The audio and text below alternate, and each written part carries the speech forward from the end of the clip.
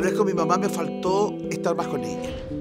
Así que yo los invito a, ustedes que tienen a su mamá viva, que no se pierdan ese minuto, que, que, uno tiene que dejar el trabajo, tiene que dejar espacio para los viejos, que ahora uno no sacará. Ahora ya es tarde, muy tarde. Eso haría. Una invitación para que ustedes se preocupen de su padre. Feliz día a todas las mamás de Chile. Les desea Mega.